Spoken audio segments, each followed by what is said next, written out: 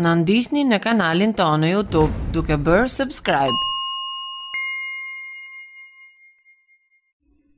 Nisi sot më në fund, qeveria Rama ka njoftuar, të gjithë shqiptarët duhet të Shëndetësia shqiptare duket se po merr masa të reja për të nisur një program vaksinimi për popullsinë, dozat e së cilës do të mbrojnë jo vetëm shëndetin tek fëmijët, por edhe tek grupmoshat më të rrezikuara, Gjithashtu qeveria Rama ka theksuar se ka marrë mbështetje që madje popullsia të kryejë vaksinën falas.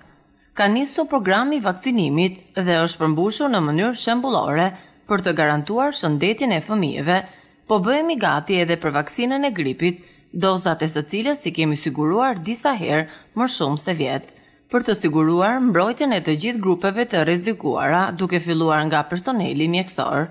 njofton qeveria Rama. Për më shumë, klikoni në video tona të reja.